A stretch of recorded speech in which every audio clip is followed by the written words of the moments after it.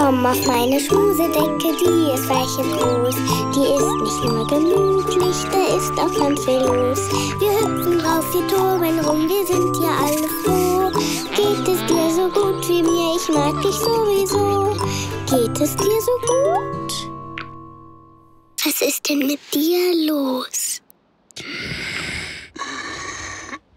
Ach so, du kannst nicht brüllen.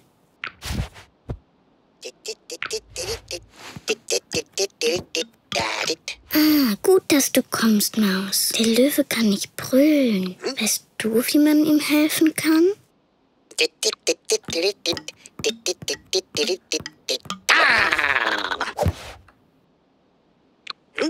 Ja, und jetzt du, Löwe.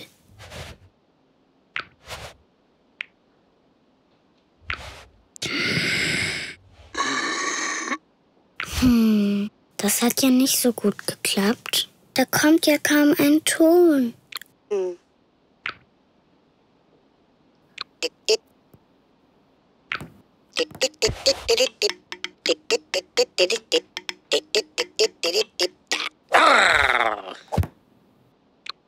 Ja, dann versuch's doch einmal so.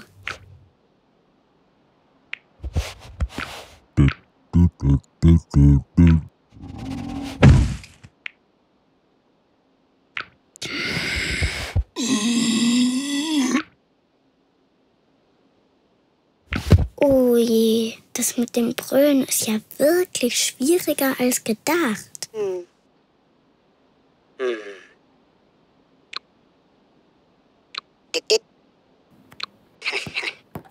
Ah,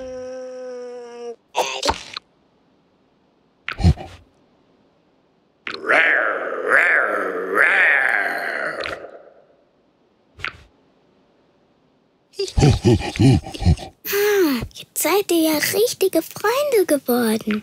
Aber selber brüllen kann der Löwe immer noch nicht. Oh, guten Tag, Fuchs. Der Löwe kann nicht mehr brüllen. Weißt du vielleicht eine Lösung?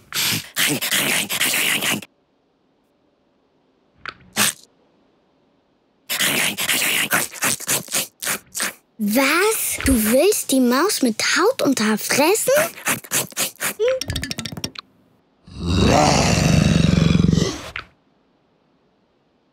Ha, jetzt hast du gebrüllt, Löwe.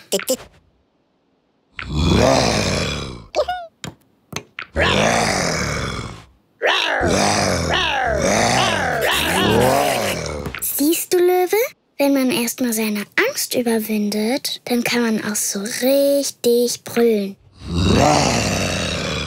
Ja, wir haben es geschafft, keiner ist allein. Hier auf meiner Schmusedecke geht's uns allen fein.